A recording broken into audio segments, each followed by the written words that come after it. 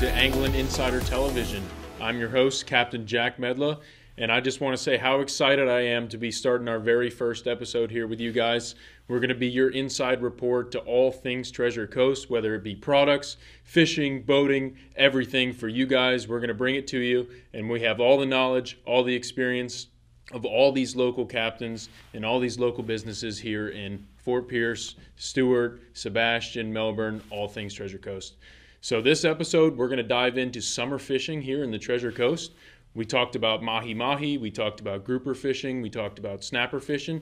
I was with my good friend, Captain Jason Muller, with Muller Maritime Fishing Charters. So, before we hop on the boat, a little bit about myself. I grew up here in Florida, and for the past seven years, I've been here in Fort Pierce, fishing the area and learning about the boating and fishing industry. Before that, I went to school down at the University of Miami and I studied marine and atmospheric science at the Rosenstiel School of Marine and Atmospheric Science there. And I focused on predator and prey relationships with tarpon, tuna, mahi mahi, cobia, all those species that we studied there down there at the University of Miami. Um, now that I'm back here, I'm working at Freedom Boat Club of Fort Pierce as their operations manager, and I'm just really excited to share my experiences but enough about me. It's time to head on the water, so I'll see you out there.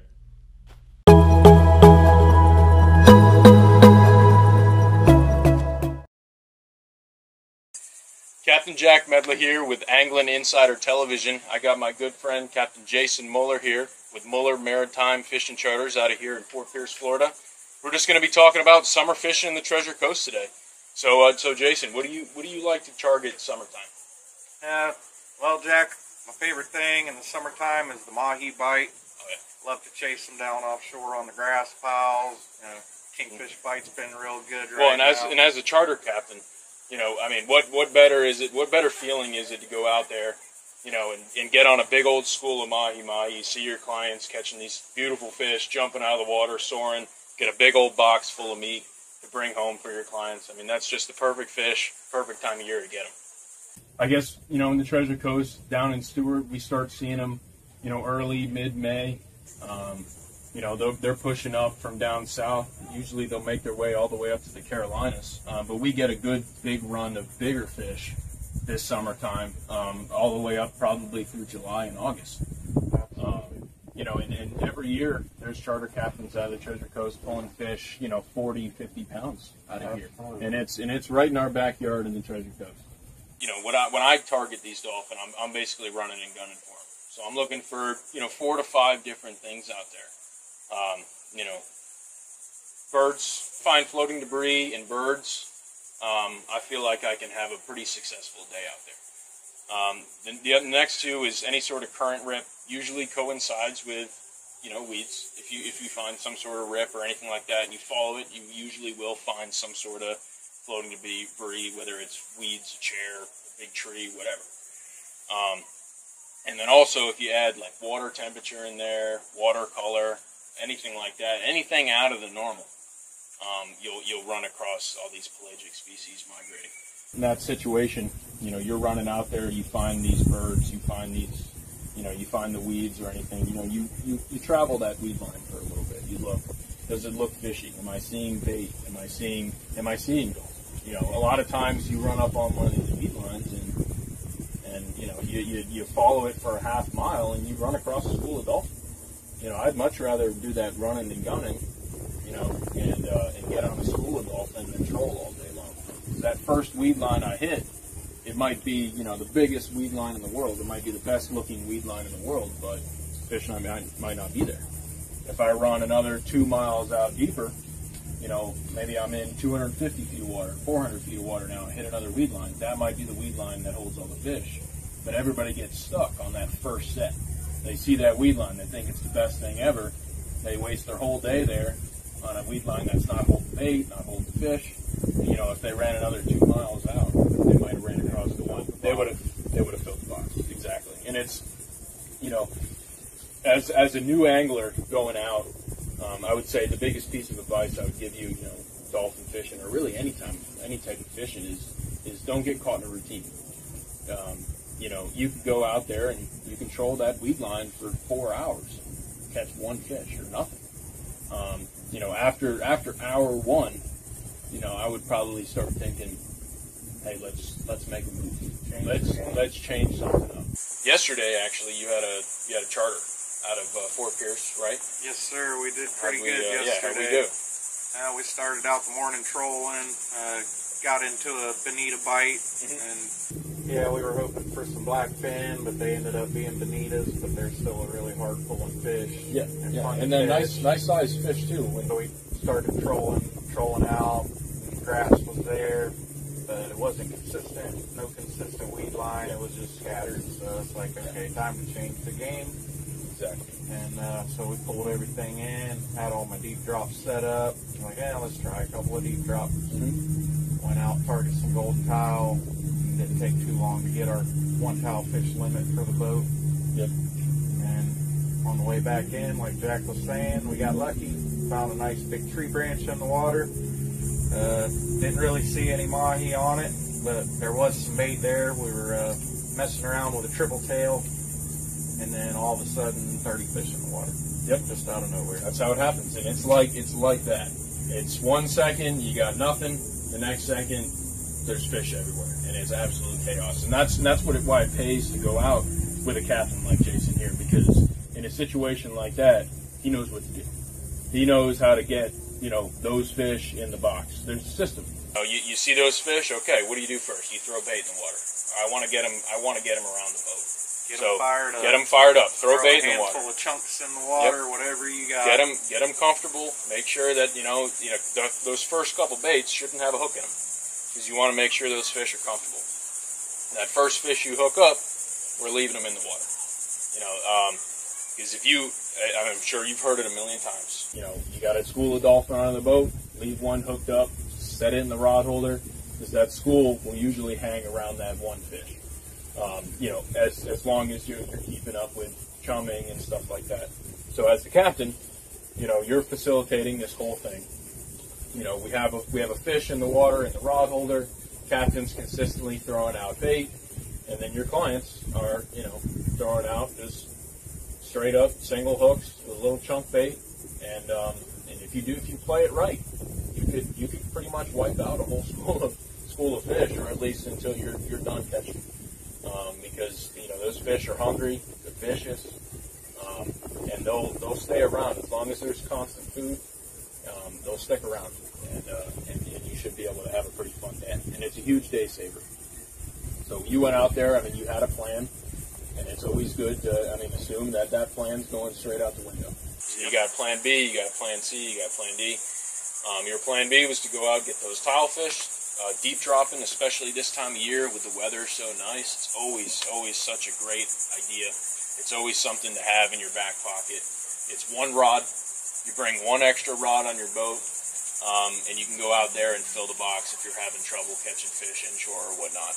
Um, and then when you're out there, you know, of course, there's always that potential for that school of mahi to come up. So it's it's a huge plus. And this time of year, with that big run coming through, um, you know, there's there's a good chance that when you're out there, you'll you'll see something, or those dolphin will come come right up on you. Absolutely. You know, you're dropping down a big old chicken rig, basically full of bait, up and down, up and down, up and down, a hundred times out there. Something something's going to see it.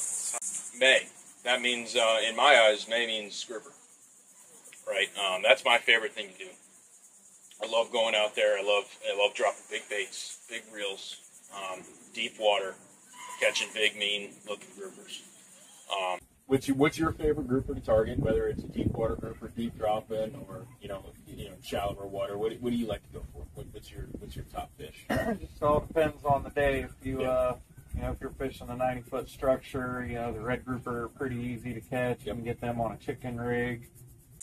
Those gags, though, you know, this time of year, I guess, I guess we're kind of targeting them. You know, in deeper water. Uh, you know, basically, I'm looking for live bottom. Um, I like I like a nice live rock. Uh, a lot of times, um, if you find a rock out there, there's going to be more around the same area. So take your time. You know, explore that area. Uh, do nice long drifts, and um, and you know, see what's holding. See what's holding on. You know, if you're grouper fishing, would you rather be anchored or drifting? Or, you know, you're dependent on depth or, or conditions. What, what do you look for that makes you want to say, okay, let's let's start drifting this spot, or, or let's anchor on this spot. Let's set the hook. Well, it all depends on your current, you Yeah. know, wind direction. A lot of that plays a big factor Exactly. in what you want Yeah. to do. Uh, you're gonna have a lot of scope of rope out if you're at 250. Oh yeah. So you're yeah. gonna have oh, at you, 900 foot of line yeah, out. you're so you're, gonna, gonna, want to bring a tremendous swing whenever you get your anchor to the ground.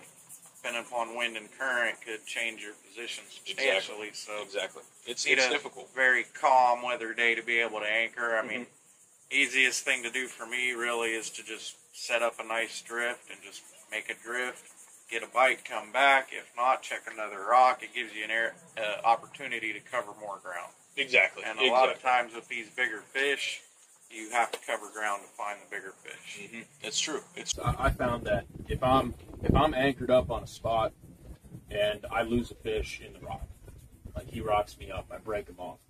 That spot's done. I'm not going to catch another grouper on that spot um, for that for that day usually. Um, with drifting, though, you know, if I lose that fish, that might be on rock number one. You know, I might have six or seven rocks or ledges in that in that drift that I'm going to hit. So I know, okay, I got six or seven more shots on this drift to hook a bigger fish. If I'm anchored up on a spot, you know, and I lose a fish, I might shut it down, and then okay, am I gonna, am I really gonna pick up 900 feet of anchor line and and anchor back up on the on the on the ledge right next to it, or am I just gonna reset my drift? Um, so most of the time, it's um, it pays off to just drift. You might you might use a little bit more in gas, um, but it's you know it's a little bit more active and you're covering more ground, which is huge. I mean, like you said, you know if you're if you're putting all your all your money on one spot, on one ledge, that might not be the ledge of the day. You know, um, it might be it might be the one 50 feet away from it. It might be the one 100 feet away from it that you know is holding all the fish that day. Um, the ocean's different every single time you go out there. And if you, like I said before, you know, if you catch yourself in a routine, you're going to start losing fish, or you're going to start missing opportunities. Um, because the second, the second you start doing the same thing over and over again, is the second you're going to stop getting better. It's it's when you're it's when you're going to stop improving, catching catching bigger fish, catching more fish, because because uh, you know the ocean's constantly changing, so we got to be constantly changing. We got to be constantly adapting. Here's a quick little word from our sponsor. Without all them, you know, nothing would be possible. So let's go uh, check that out.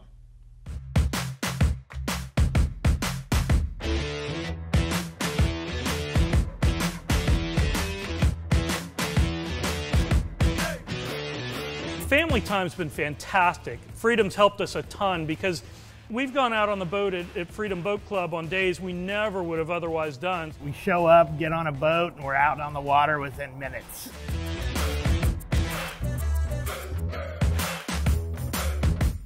It's phenomenal. They carry my bags to the boat, they carry my bags back from the boat, so I couldn't ask for anything more.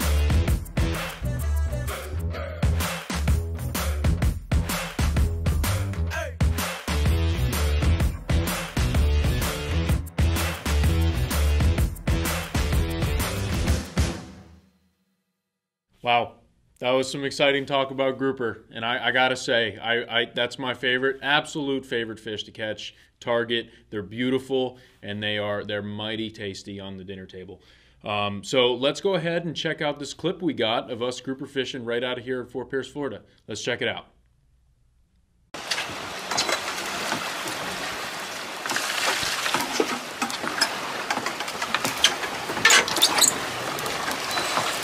All right, there he is. Oh, he's looking red, looking like a, oh, big red grouper, big red grouper. Get him, watching. My bad. big red grouper. Nice. I wasn't watching, Russ. Yeah, sorry. You're, you're gonna break this yeah, rod. yeah, I get you. oh man, thanks. That's okay. Woo! Nice red grouper on the grunt again. Dad, you're the red grouper man. Red grouper king. Get that damn hook out. I can't. Follow the circle. Just follow the circle. Nice fish. Hold that I guy got up. excited. That's good right there. Good job, John. He's fighting like a grouper. Keep him coming. Good work. Whatever it is, he's a floater. Ooh, nice red grouper. Nice job. Big donkey red grouper, John. Nice. Woo! Big donkey red. what an absolutely beautiful fish right here. Big red grouper. Nice job, John. Nice. Woohoo! I'll stop recording. Nah, just keep going. You're good. What an absolutely beautiful stud. Big donkey. Whew. All right, Cool, we got dinner. let's get him in here.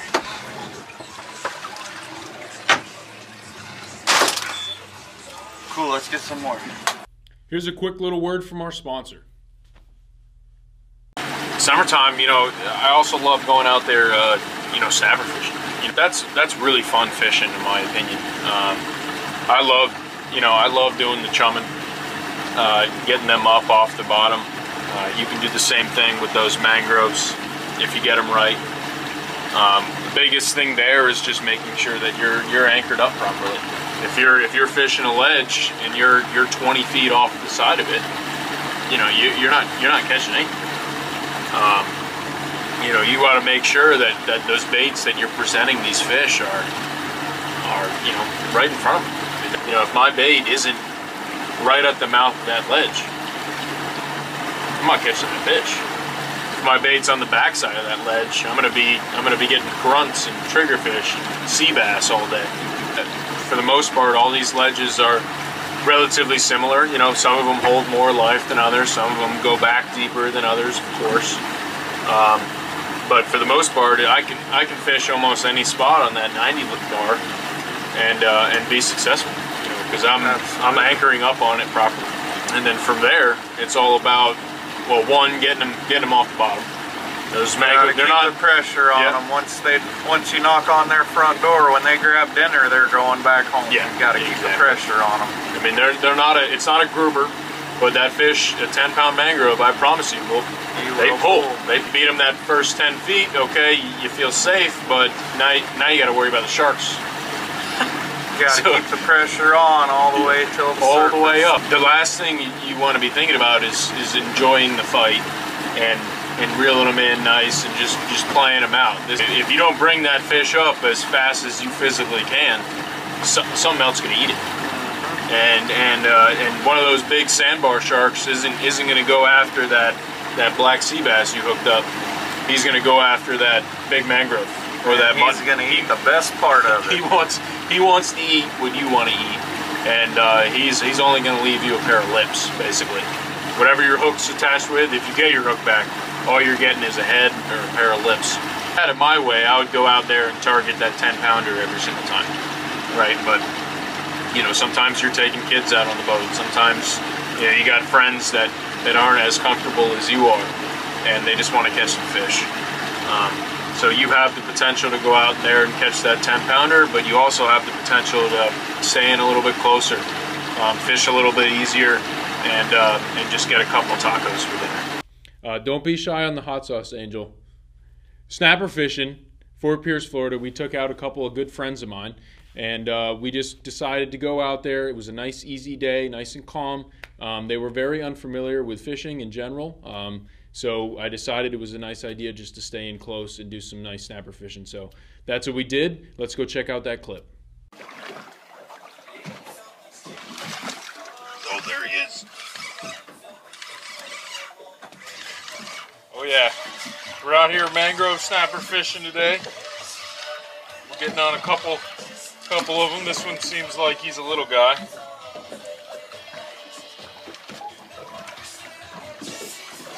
Go ahead and let this guy go. He's not, he's nothing too to, too impressive, but nice little fish.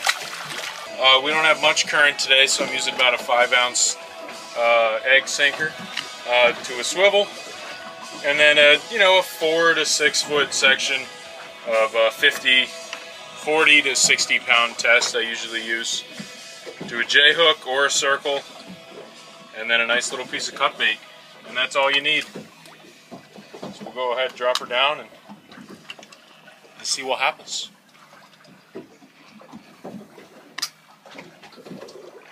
I always like to hold the line as I'm dropping it down Um, lets it go down a little bit slower. I feel like it helps helps it not get tangled up. If you drop it down too fast, it'll spin around the main line. And uh, you ain't catching anything that way if your rig's all foamed up.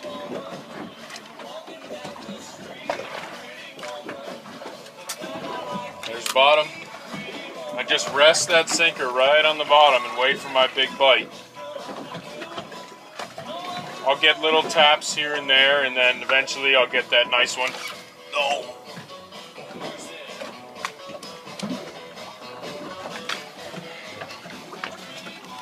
It's frustrating. It's a long way up for another bait. It's okay. It's okay. It was just a nice fish. It's just a nice mangrove. if any of you have been out here mangrove snapper fishing, you know that they're uh, they're notorious for bringing up empty hooks. This guy in half. Right up through the bottom of his jaw. If you're nice and straight, you won't spin on the way down at all.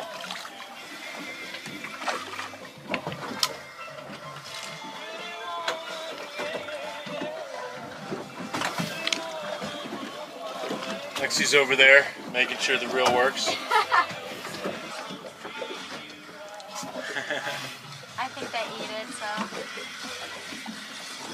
Lexi might be baitless. we'll see.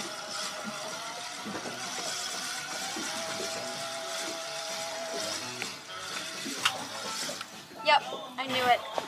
They ate it. Well, I just lost mine too, Lexi, so don't feel too bad. At least I think I did. Oh, I got a second chance. Can I make the best of it? Oh, no, I can't. Can't, can't, can't, can't, can't stop, won't stop. I'm dropping down again. Lexi, what do you want, a butt section or a head section? Um, I'll take the butt. yeah, sure, whatever you want to give me. Well, honestly, the head section that stays on better. Yeah. But I'll give you a, a smaller one.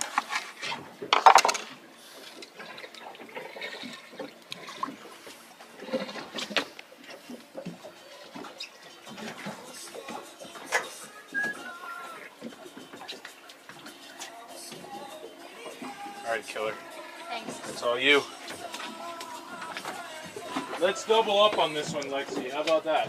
Sounds good. What do you think about that? That would be great. All right.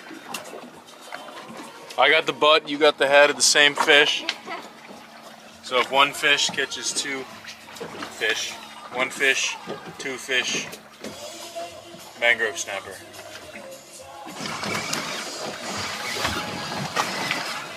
Nice one. Woo! We got him, Lexi.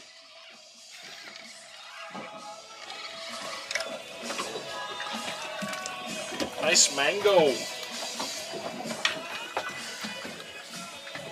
Now we're allowed uh, five per person of these, and this is just a perfect little sandwich right there. So we'll go ahead and uh, oh. Come on, buddy. There you go. Let's go get some more. So that day we ended up getting about a dozen little mangrove snappers ranging from about 13 to 16 inches. And, um, and we had a nice little dinner back at my house. Um, let's get back to the boat and finish that conversation we were having. And something else I'd like to talk about when you bring the kids involved this time of the year.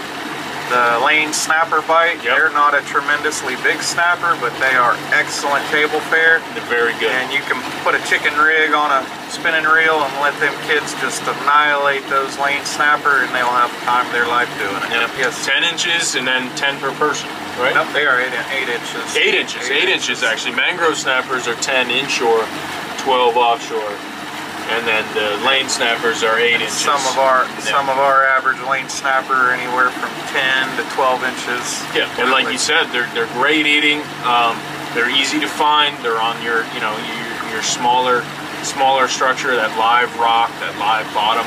You know, 60 to 80 foot, you can go out with a chicken rig and um, and kids absolutely love that stuff. And it, it's really fun for everybody because it's it's constant fishing. Um, I want you guys to have a fun day out on the water, and I want you to pull on some fish. Also, in mention of the snapper fishing, always have a pitch rod ready for that cobia. They Yep. are very, very curious. Exactly. You start bringing them big mangroves up off the bottom, a lot of times you'll have a nice sized cobia follow him right to the boat. Yep. All you got to do is have a pitch rod with a bucktail with a jig on it. Just literally put it right in front of his face, and then you'll have a nice well, those, I mean, those fish when they're fired up, they're, they're another fish that'll eat anything, and they're and they're fun, fun fish. Every once in a while, they get pretty acrobatic. Uh, they'll come out of the water, um, but they're cool-looking fish. They pull hard and and fantastic eating, fantastic eating. And those those have to be 33 to the fork um, of the tail, which is a little bit different. Um, so it's always a good idea, to, you know, check your regulations there. good uh, point to point out, Jack. Always know your regulations. Yep.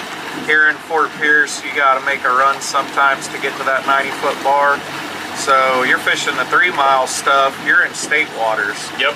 And the regulations change once you cross that three mile line. Now you're in federal waters. You need to make sure if you're fishing federal waters, you're maintaining federal regulations. Exactly, and and I know that in uh, the Atlantic state waters here, like red snapper is legal to keep in state waters. But all of them Right now. WC officers know that you are not going to catch Exactly. an American red and You will not catch an American. Yeah, you will not catch an American red within three miles. So if you if you go on your on your you know FWC website, it'll give you all your state regulations, but it'll also give you all your federal like regulations. So make sure that you know the difference between the two because you might just look at that piece of paper and it says, "Oh, red snapper." I can keep one per person right now, and uh, and you know, okay, yeah, you can in state waters, and you ain't gonna be catching one in state waters. Um, so it's always you know better be safe than sorry. Check your regs, know before you get out there, um, because you know those regulations are are set in place for a reason. Um, there's a reason why I can't keep a grouper during the winter months. You know, there's there's a reason why that that mutton snapper was changed from 16 inches to 18 inches. They're, you know, they're they don't do that stuff just because they want to. They do it because they're learning about these fish, and they know that okay, at around 18 inches, those fish are, are transitioning. You know, not we don't want to keep keep uh, keep any juvenile fish. Um, you know, I, I don't I can't keep grouper in the winter months because you know I, I'm taking them out of their spawning season. I don't want to do that. If every client could come on your boat and know one thing straight off the bat, what do, what would you say that would be? Uh, a lot of times I like to cater to the customer, Yep. and then I'll twist it around so that I know that we have a good day. I've had clients want to go catch sailfish and drive past Mahi to do so. Sometimes we might not get that sailfish bite. A lot of that's all on conditions. Uh, biggest thing people like to troll. You know, usually your trolling bite's only good for the first part of the morning. Then you want to stop and change it up. Maybe go do a little bit of drift fishing somewhere, some Exactly. deep dropping. And then kids always want to do some bottom fishing. That's a great time to do that. It's at the end of the day, last part of the trip. Mm-hmm. Everybody can sit down, have their lunch, relax, do what you want. Well, work your work your Bottom way back fishing. in. You know, eh, it, Yep. you have you have a plan for the day. You know, I'm gonna go. I want to try dolphin fishing, right? So I'm gonna run out. I'm gonna go my the farthest run of the day is gonna be in the morning for me, and then I work my way in. The other day, um, I went out. You know, like like we said earlier, it's a good time of the year to go go dolphin fishing. So I, you know, I thought to myself, all right, let's go out there, let's do some dolphin fishing. Um, but I always have something in my back pocket. I always have a plan B. So we went out there. Um, I like to do running and gunning, so I had the radar working. I was looking for birds. Beautiful flat day. I should have been able to pick up a coconut, and I, I wasn't getting anything. wasn't seeing any birds. Wasn't seeing any weed lines. You know, after after about 30, 45 minutes to an hour of searching, uh, we didn't really see anything. Uh, you know, I, I didn't want to waste my time. Um, so I was in the area with a bunch of bunch of nice ledges. You know, between you know around 200 feet. away. But we went out there and uh, we were in the area. Decided to you know drop some jigs on this 90 foot or this uh, 200 foot stuff. and uh, we, you know, we had a nice little day. We caught scamp grouper, we caught um, some of those red grouper, uh, an almaco jack, amberjack, uh, barracuda, really anything. Big genuine red snapper, and and the best part about them is, is uh, you know, I can fish. I can fish three, four people at the same time in 200 feet of water, you know, and still be catching the same fish that I'd be, be catching using live bait. Have more anglers in the water, more rods fishing, catching a wider variety of species. Uh, we're all using nice, small, little reels, light reels, so everybody's comfortable fishing the whole day. And um, it was a really fun backup. And they ended up having a having an absolutely fantastic day. Um, a day that you know no, neither of us expected. Because you know we expected to go out there and catch some dolphins. Here's a quick little word from our sponsor.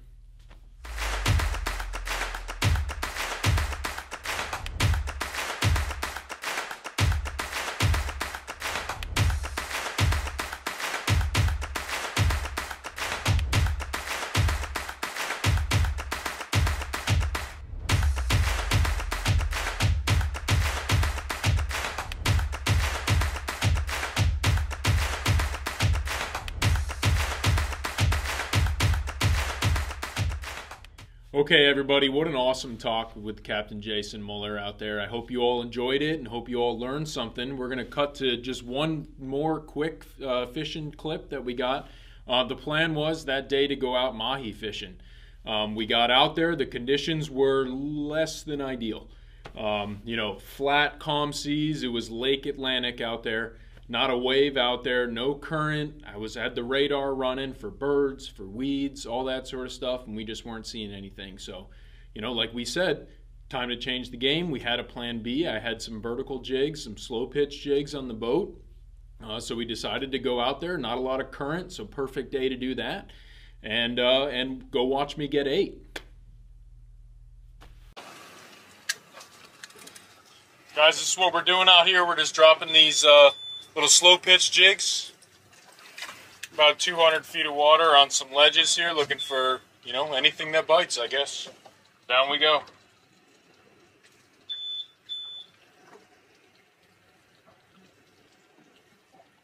Good wide variety of fish you can get out here from amberjack, red snapper, scamp grouper. Um, you know, maybe a maybe a small gag if you're lucky enough.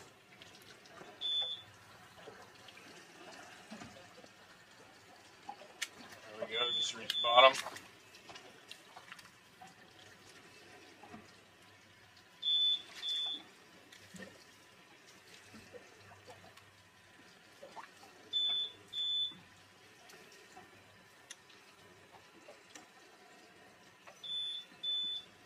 You jig it up, you know, 50, 60, 70, 80 feet off the bottom. Really depends on where you're marking fish. I'm not marking much above 30, 40 feet off the bottom. So I'll give it a good couple pumps, get it off the bottom, and then and then drop it back down.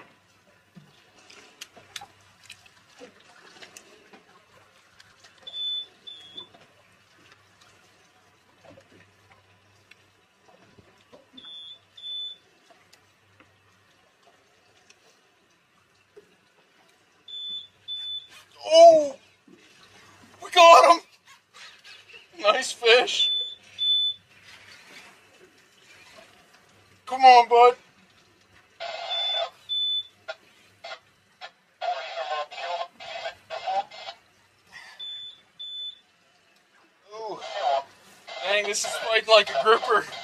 Not gonna lie. Nice one. Ooh, come on. Come on, fish. Ooh, doggy.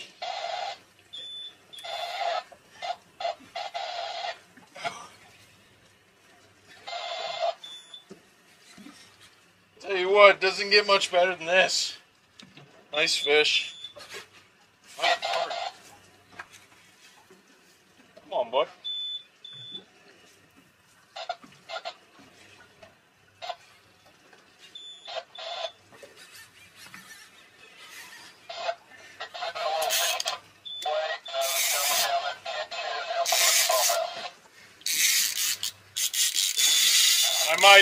Might change my original guess to uh to an amberjack now. This fish is dogging me. Come on now.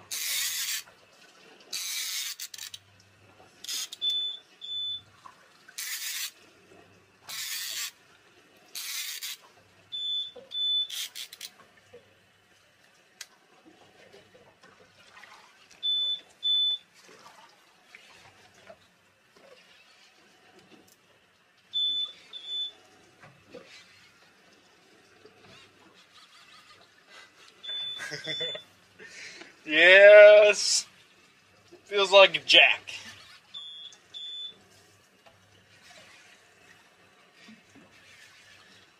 Well, he was he was only about 10 feet off the bottom, so I got about started out with about 200 feet to go.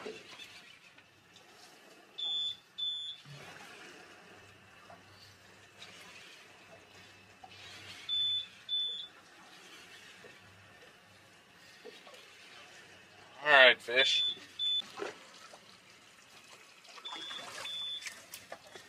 Nice, beautiful fish right here. This is a uh, Almaco jack, very similar to the amberjack. Uh, but if you put two and two together, Almaco has a much more defined dorsal fin here, a little taller, uh, and then usually a little darker. Uh, but this is a uh, it's a pretty good eating fish. Uh, so we're going to go ahead and uh, invite this one to the the box. To reiterate on what we were talking about on the boat, if I were to have the perfect client, I would like them to come in with their expectations. I want them to come with me, come to me with an idea of what they want to catch, with an idea of how they want this day to go out. But at the same time, you know, there's a lot that goes into a day of fishing. You know, it might not be that right season. It might not be, the moon might not be right. The tide might not be right. The water color, the water temperature. There's so many factors that go in to having a good day of fishing, and these fish are alive and they move. So, you know, I'm doing my best. All these captains, I promise you, are doing your best to get on these fish, to get you exactly what you want. But at the same time, they're out on the water every day and they know what's here. They know what's biting and they know how to put you on some fish. My final advice to you would be to trust your captain and let them get you the best day out on the water that you could possibly have.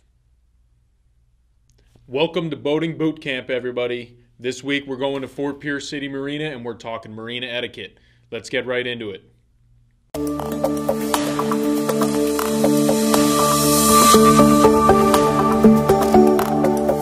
Captain Jack Medla here with Anglin' Insider Television. Today we're at Fort Pierce City Marina and we're going to be going over proper marina etiquette and how to hail them properly on your radio so you can go in, get some lunch, possibly get some fuel, dock up for the night, or just, just come in and check out the marina. Let's get started. First off, when you're entering the marina, you would want to hail them on your radio.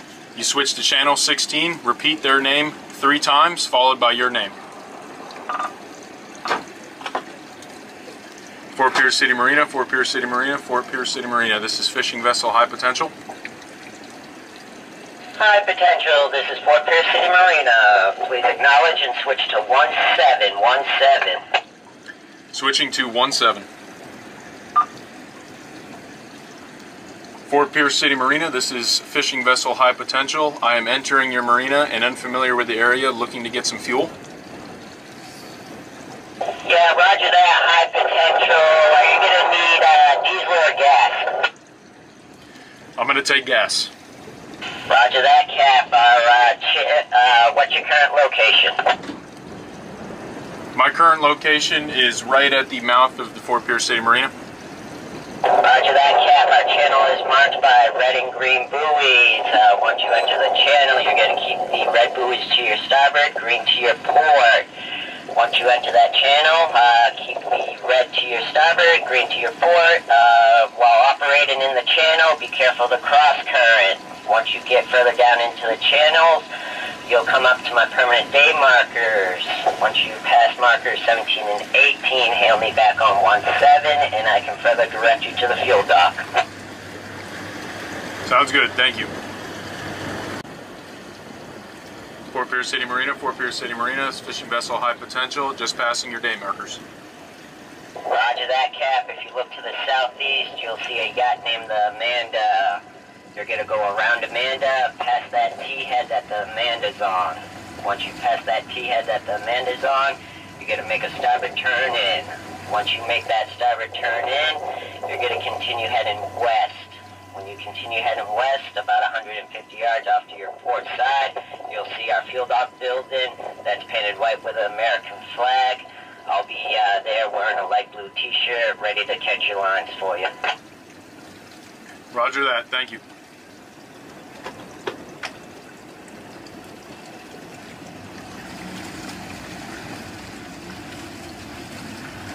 In the Fort Pierce City Marina, as well as all marinas in the state of Florida, it is a no wake zone, slow speed. So you will be giving off absolutely no wake behind your vessel. Usually that's between 600 and 900 RPMs.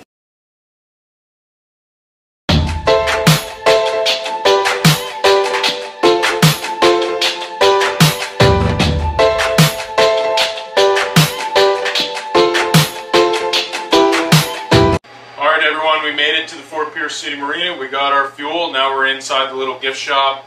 Uh, you can get bacon here, drinks, whatever you need if you're just stopping by. But I'm with, with my good friend Kenny here. He's the assistant dock manager at uh, Fort Pierce City Marina. Um, so Kenny, I guess you know, just give us a little rundown of the kind of services you offer here. What what uh, what somebody can do if they're just stopping by or staying here for an extended period of time. Okay, like uh, if they come up for fuel, we have gas, diesel, um, and then like uh, Jack, you said, you, we have bait. We also have 10 uh, ice here, which uh, range from 10, 25, 50 pound bags of ice. Uh, you can uh, get fish food here, anything that you want, pump outs uh, at the fuel dock. Um, other than that, if you wanted to stay the night, just hail us on 1-6, and or if you're at the fuel dock and you want to stay, we can just radio in and have slips available and everything like that. So, That's good. So kind of kind of all in one All in sort one. of place. You know, if you're fishing in the area, uh, you need some ice, you need some bait or anything, stop on by. I guess you know they have everything that you would need here. And um, and then if you're a bigger boat, you know, looking to stay the night or anything, I guess you would radio ahead, you know, Yeah, call the day before. Absolutely, and we do uh, accept drop-ins. So if you guys get stuck in weather, we do uh, do uh, weather. And on top of that, every Wednesdays and Saturdays we got farmer farmers market. Yep. And then every uh, first Friday of every month we'll have uh, Friday Fest. So if you guys want to bring your boat in, just hail us on one six, and we can further uh, get you into a spot, and you guys can enjoy the festivities that are here at the marina. Awesome. Well, that sounds good. I appreciate it, Kenny. Thank you for helping me out. No problem. I guess we're gonna head up to Krabby's and get some lunch right now. Absolutely. Um, so I guess we'll pull around here. We got an open slip right next to Krabby's. Yep. Kenny got me. Uh, Kenny got me one open there, so he's gonna help us out, and we'll see you at Krabby's.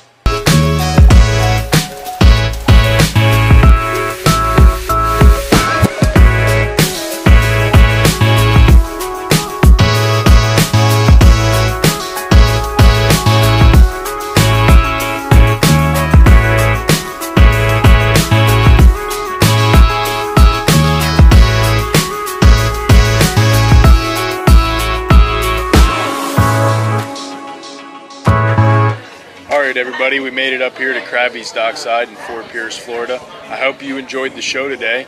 We talked about grouper fishing, ma- uh, mahi fishing, snapper fishing. Uh, we did a little bit in Fort Pierce City Marina here.